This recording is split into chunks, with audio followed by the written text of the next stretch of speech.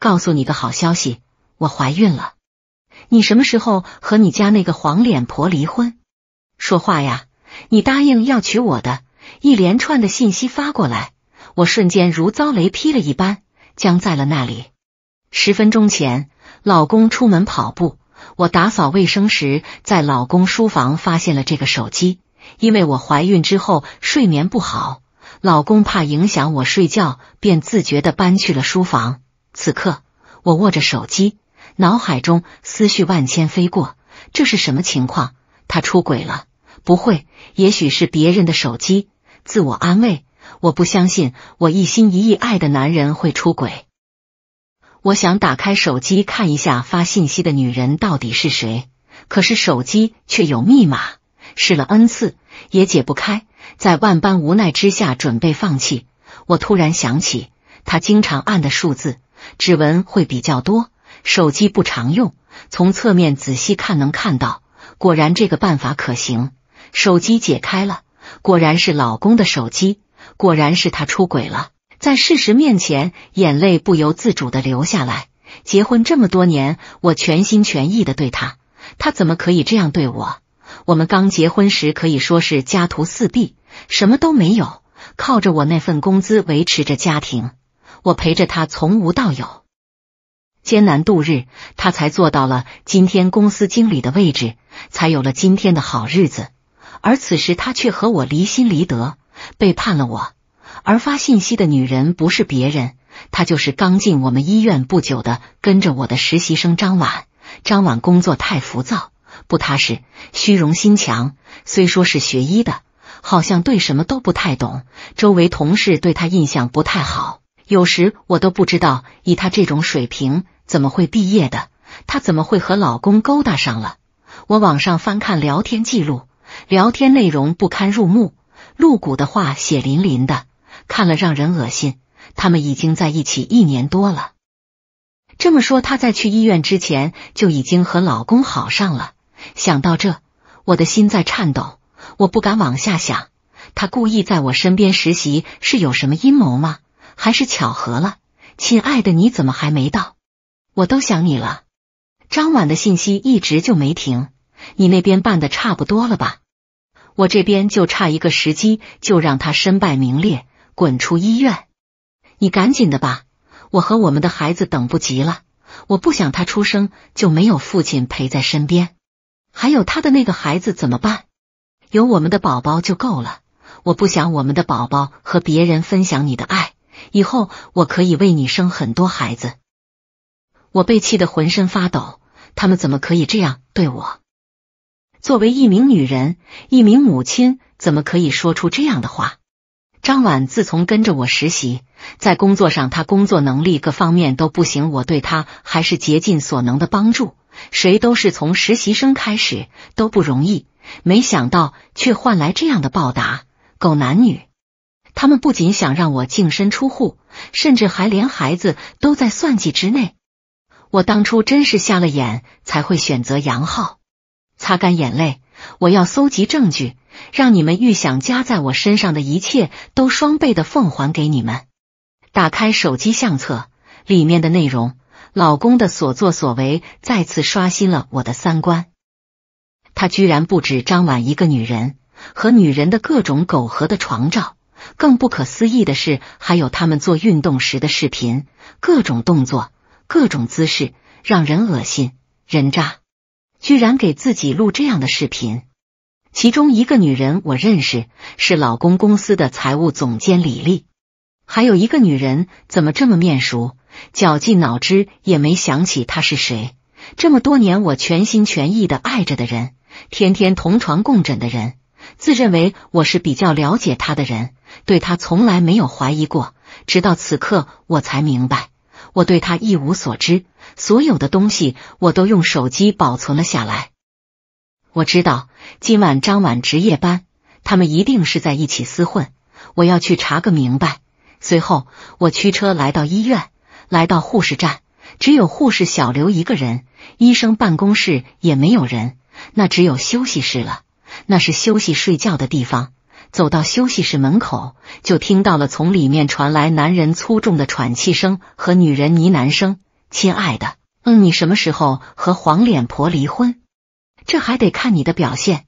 我好不容易建立起来的人际关系，不能因为离婚而毁于一旦。我的小心肝就全靠你了。那孩子，放心吧，宝贝，我最爱你和我们的宝宝。我再也听不下去了，哆嗦的双手钥匙怎么也插不进去。今天我要当面戳穿你们的真面目，你们这对狗男女！气急败坏的我打开房门，大喊道：“老公！”立即从张婉的身上离开，张婉也立即用被子遮挡着身体。你怎么来了，老师？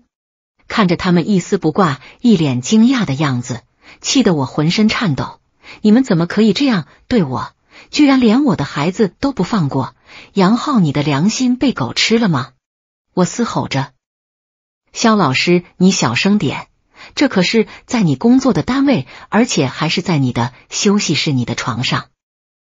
张婉一脸懂事的样子提醒我，在我的床上，我的休息室。这是纯粹的在恶心我、侮辱我，张婉，你是真不要脸！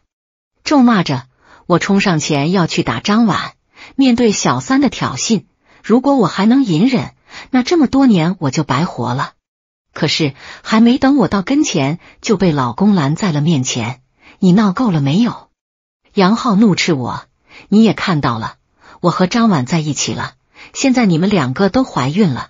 如果你同意，等把孩子生下来再说；不同意就离婚。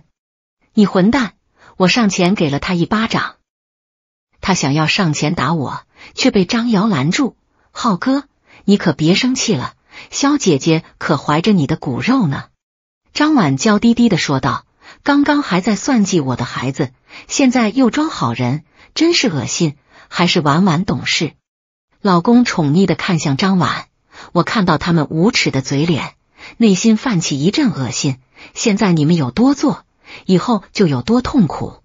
我愤怒的转身离开，身心疲惫的我回到家，躺在床上抚摸着肚子里的孩子。没想到你还没出生就和妈妈相依为命了。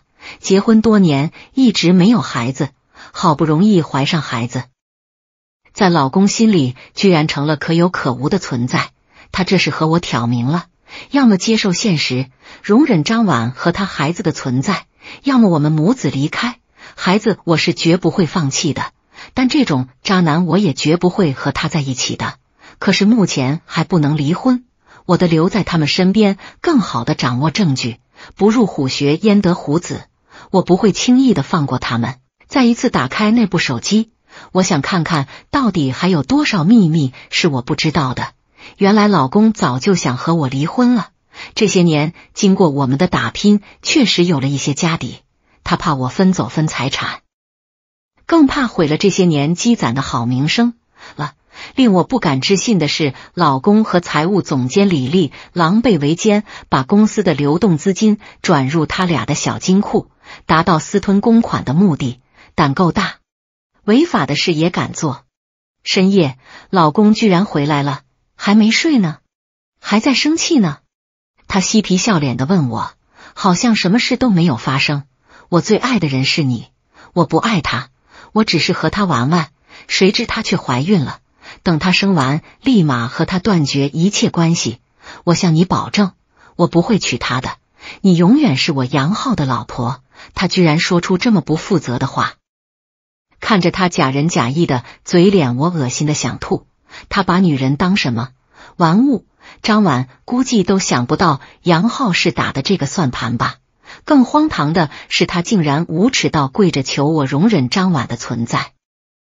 等他生完孩子，立马和他一刀两断。他只是为了孩子和我玩苦肉计呢？鬼才相信他的话。我强忍内心的怒火，为了接下来的计划，我只好表面答应了他，但前提是张婉不准进我的家门。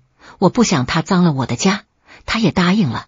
他也许会暗自高兴，我和张婉的下场一样吧，甚至比张婉更惨吧。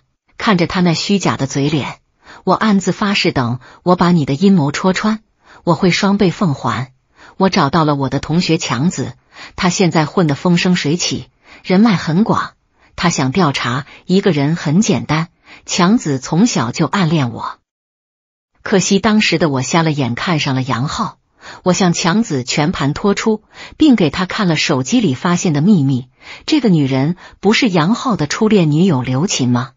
强子惊讶的说道：“对，就是他。怪不得我看着这么眼熟。”强子接着说道：“他当初不是甩了杨浩，跟一个外国人结婚了吗？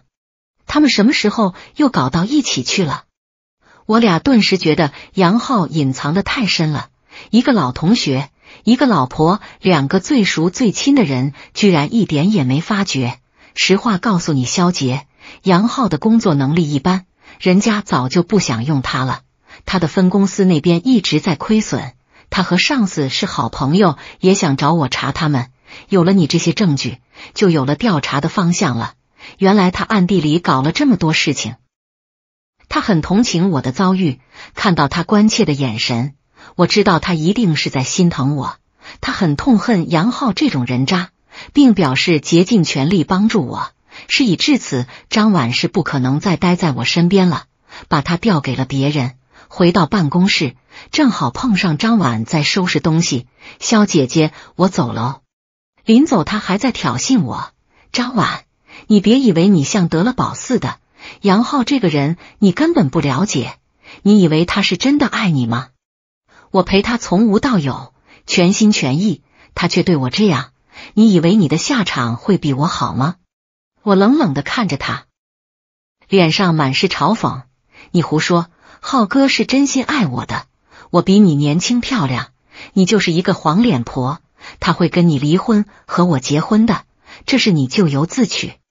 他一脸得意的说：“曾经我也是校花，我还是医学硕士，你是什么？论学历。”气质、人品，你拿什么和我比？要是没有我，他现在什么也不是。怨就怨是你的肚子不争气，这么多年也没给浩哥生个一儿半女，哪像我不到一年我就怀了他的孩子。张婉摸着他的肚子向我炫耀道：“哼，我才不信你的鬼话！”他摇曳着屁股走了出去。晚上回到家，就看到门口堆着大包小包的。张婉居然来到我的家，我正想上前让她走时，老公却拦在了我的面前。他苦苦哀求我，让我收留他，等他生完孩子立马让他走，真是无耻到了极致。看到他们在我面前毫无束缚的打闹嬉戏，越发的放肆，我突然想起了我们中国的古训：天要让其灭亡，必先让其疯狂。我笑了。第二天上班的时候。我就看到同事们都在交头接耳的议论着什么，我还以为发生了什么大事，原来是张婉因为工作失误，差点导致病人失去生命。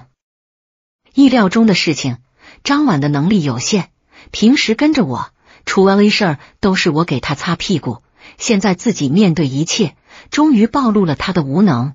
大家都在猜测张婉应该在这待不了了，还没正式工作就出现了这么大的事情。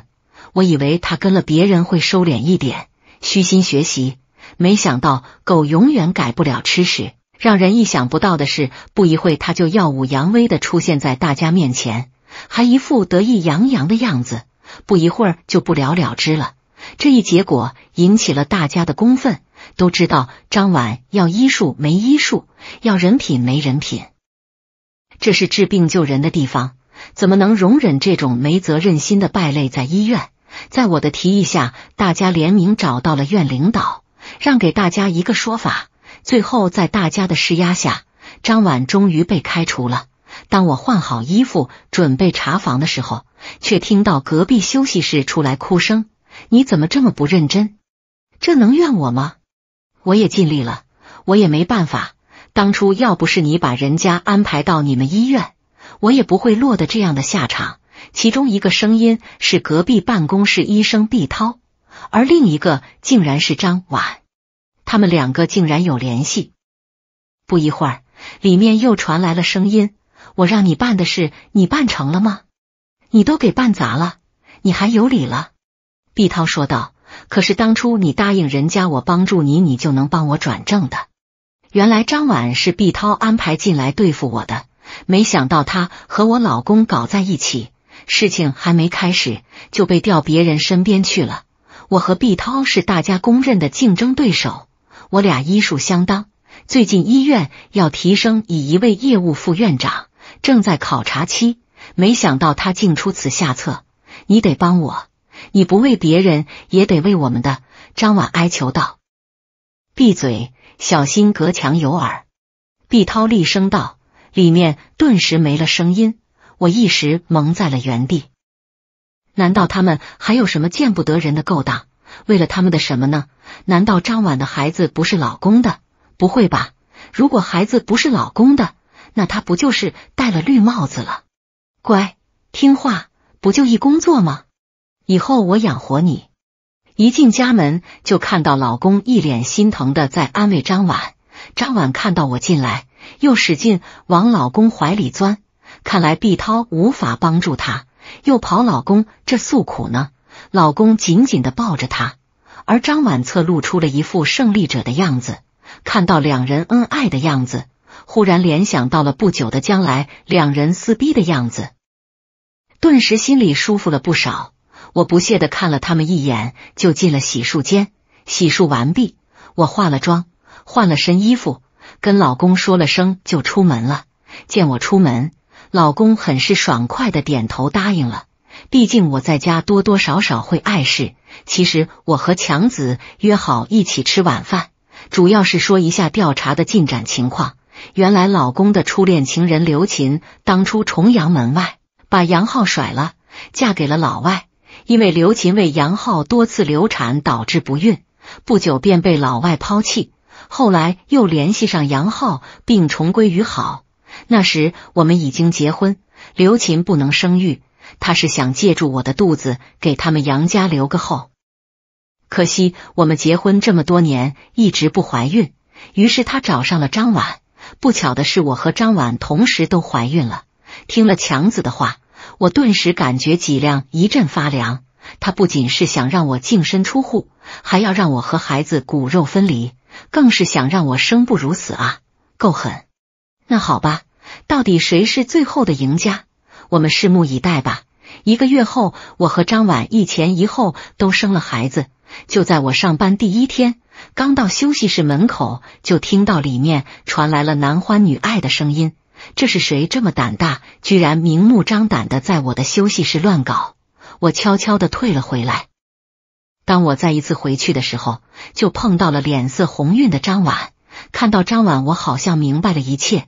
看到我的那一刹那，他显然一愣，说道：“你怎么来上班了？”“对呀，我是来上班。你来干嘛？”我反问道。“我来给我儿子买点药。”说完，他慌慌张张的走了。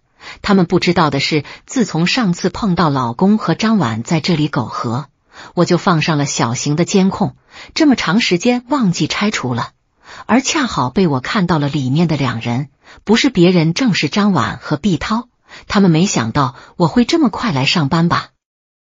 我自从生了女儿果果，由于平时工作太忙，没办法，我只能请了一名保姆照顾女儿，老公则是请来了婆婆，尽心尽力的照顾张婉和她的儿子。看得出，老公非常疼爱儿子，无微不至的照顾张婉和孩子。而我们的女儿，她都没正眼看过，婆婆更是当做心肝宝贝一样的疼爱。看，我们的儿子真漂亮，长得真像浩哥。张婉故意大声说道。老公高兴的说道：“是啊，养儿子就是好，我们可是要继承杨家家产的，可不像养女儿是赔钱货。”婆婆得意洋洋的说道：“哦，是吗？我看看这杨家的根，他是姓杨吗？”我出来故意这样说。看看张婉的表情，果然听我这样说，她立马变了脸色，眼神闪躲的说：“萧杰，你生不出儿子急眼了吧？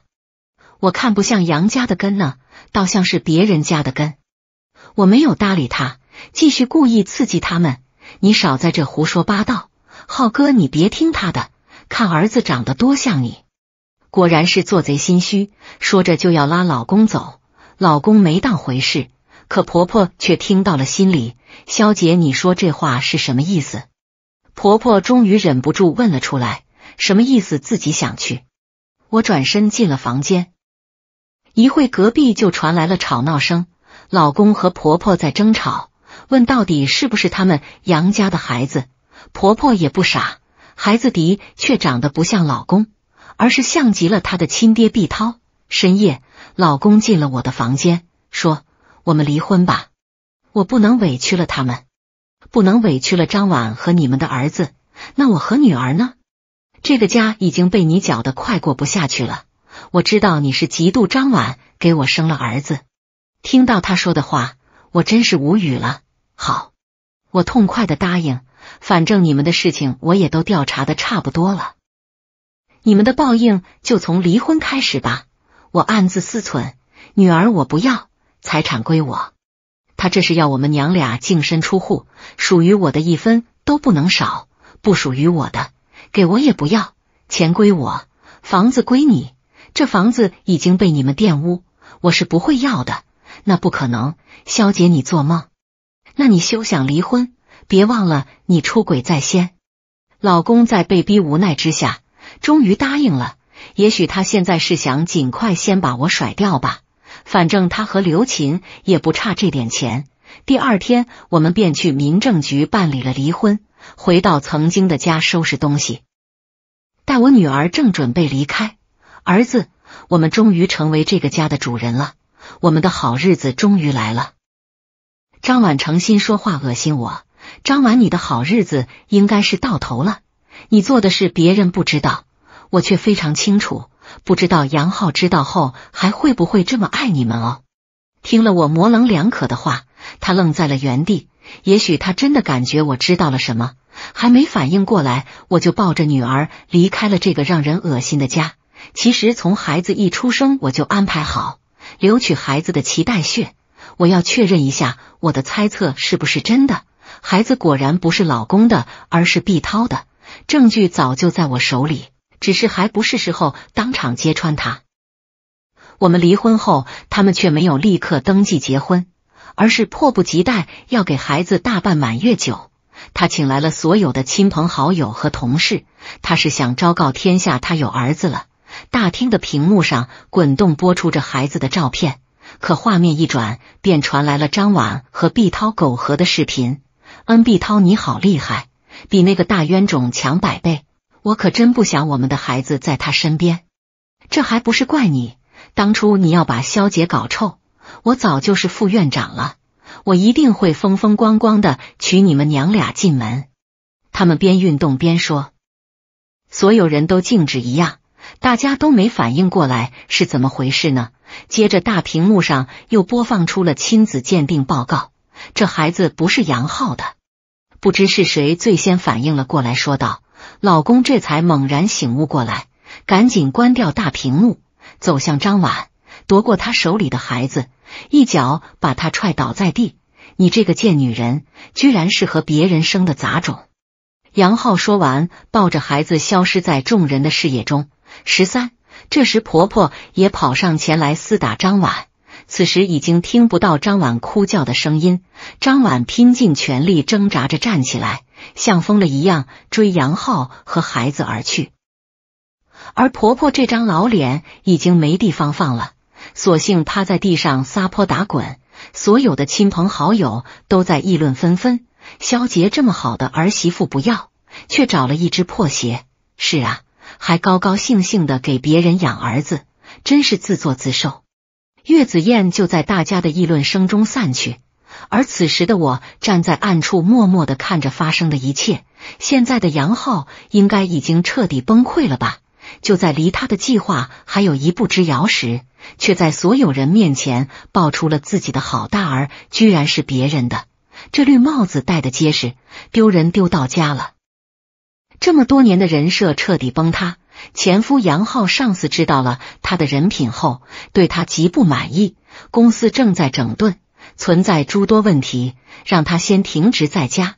而毕涛因生活作风问题，并使用不正当手段谋取利益，情节恶劣，被医院开除。我和女儿、保姆三人租了一间公寓住了下来，并让强子给我找了一个保镖，暗中保护。我怕杨浩狗急跳墙。来骚扰我们，日子平静的过了一段时间，杨浩和张婉好像从这个世界上消失了一般。我和女儿、保姆三人刚刚从超市出来，一转头，张婉却出现在我面前，着实吓得我不轻。你还我儿子！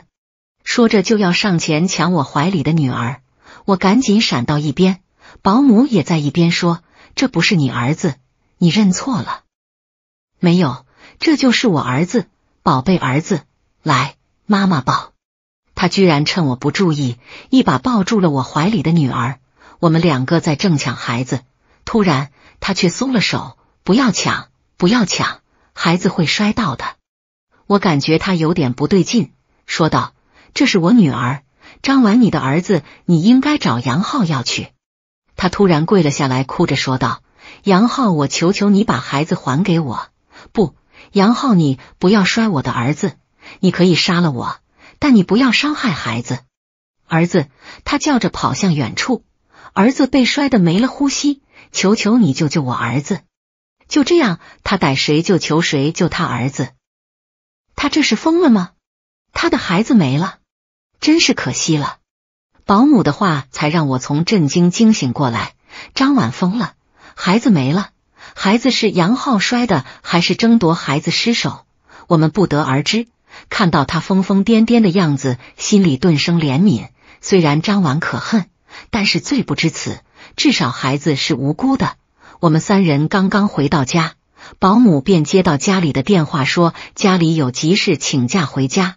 保姆走后，我和女儿刚刚睡下，朦朦胧胧中感觉卧室房门开了，我迷迷糊糊摸了摸身边的女儿，却没有摸到女儿，吓得我一个机灵。赶紧爬起来跑了出去，就看到一个黑衣男人背影抱着孩子刚出去。这个背影酷似杨浩，我敢肯定就是杨浩。和他生活这么多年，对他还是比较熟悉的。他可定是抢我女儿了！站住，把我女儿放下！我边喊边追了上去。原来外面早有车接应黑衣男。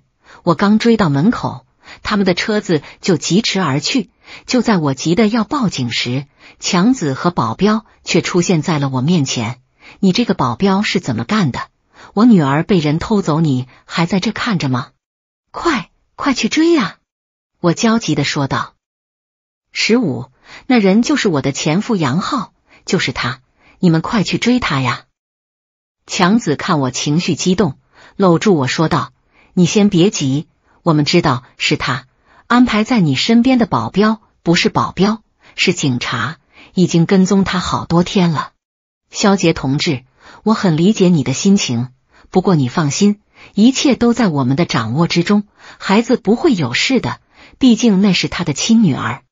警察同志说道：“杨浩私吞公款数额较大，其中还牵扯很多案情，我们要把他的同谋，也是他在国外的情妇给引回来。”虽然知道孩子是安全的，但是我怎么可能不担心不着急呢？真是体会到了什么是度日如年了。深夜，警察同志打电话让我去机场接孩子。机场大厅中，杨浩和其情人刘琴已被控制。我赶忙从警察怀中接过孩子。肖杰，你早就知道我们的计划是吗？杨浩走近我说道：“是。”公司的事也是你告诉他们的，是这么说，这一切都在被你牵着鼻子走的。你这个贱女人，是你毁了我全部。杨浩越说越激动，你罪有应得。你们坏事做尽，居然连一个婴儿都不放过，畜生不如！不提婴儿还好，一提他就像疯了一样。他该死，他是个杂种。你可别忘了，你怀里的女儿走到哪都是我的。那是我们杨家的根。现在你知道女儿是你们杨家的，晚了。女儿长大，我不会告诉她有你这样的父亲，有你这样的父亲是她的耻辱。我会找一个比你强百倍的男人做她父亲，她永远都不会知道她姓杨。你这个贱女人，你等着，我出来的那一天就是你的死期。杨浩疯狂的嘶吼着：“你能出得来再说这样的话吧？”我平静的说道，他恶狠狠的看了我一眼，转身走向了刘琴。还有你，刘琴，我为了你付出了所有，事已至此，你居然想把脏水都泼到我身上，让我一个人承担？你太狠毒了！难道你对我没有一点感情吗？杨浩转身对刘琴说道：“你真的都是为了我吗？到现在你还在假仁假义，你都是为了你自己。你玩了这么多女人，你在逍遥快乐的时候，你想过我吗？”刘琴反驳道：“你以我的身份开公司私吞公款。”现在又把我叫回国，是想让我当替罪羊吧？我就是你做坏事的一个幌子。实话告诉你吧，早在刚开始我就把法人换成了你自己。你们做的一切都与我无关。这些年我也认识到了自己错误，打算以后平平庸庸的过一辈子。